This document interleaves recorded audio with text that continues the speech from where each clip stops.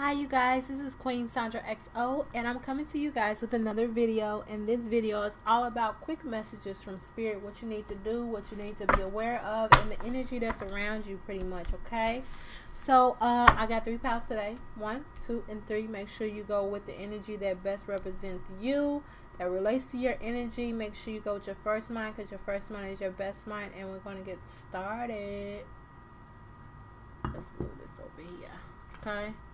So for pound number two, I mean pound number two, pound number one, my bad. Oh, okay. Spirit want to talk real fast. I got something on y'all mind. Okay, what is it saying? Nothing is yet set in stone. Uh-oh. Oh, God. I feel like you're avoiding communicating and a fiery climax approaches. So I feel like you got some energy around you, especially since all of this this water, like your emotions is all over the place and a fiery, like you kinda you kinda angry about something. But you don't want to talk about it. Right now, Spirit is saying that it is the time for you to balance out your emotions and start healing, okay? Get this water settled because things is coming to a close but you need to make sure that you are balanced before. You see see the crazy thing about it? You see this water? See how calm it is? But do you see this water? You see how crazy it is? Spirit is telling you that you need to balance out your emotions okay? Communicate your feelings.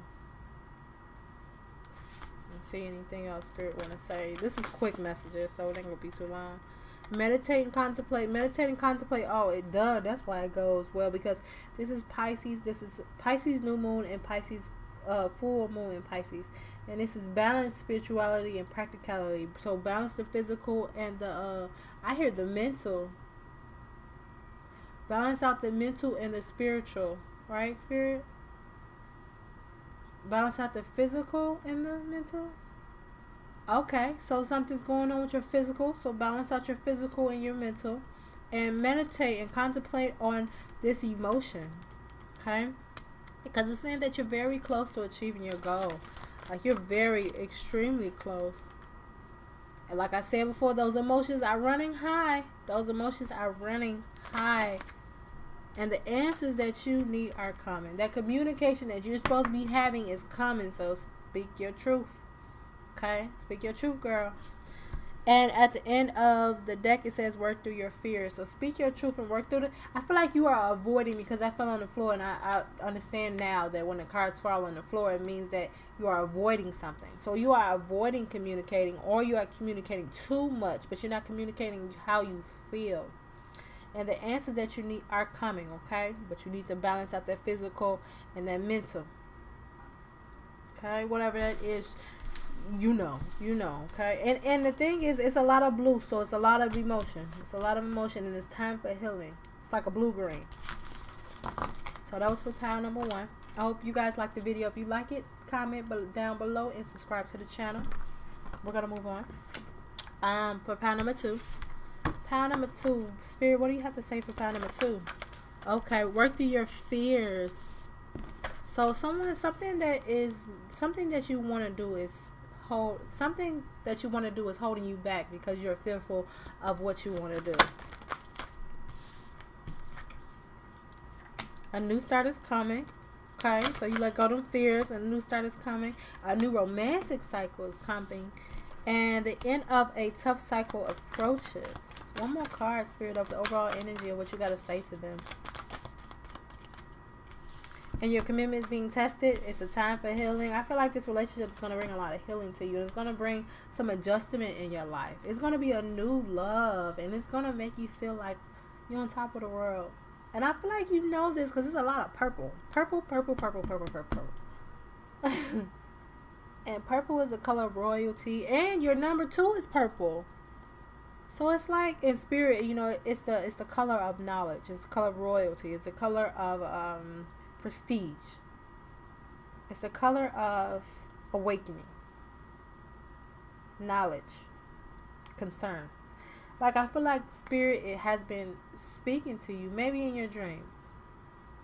You've been using your intuition about what you need to do.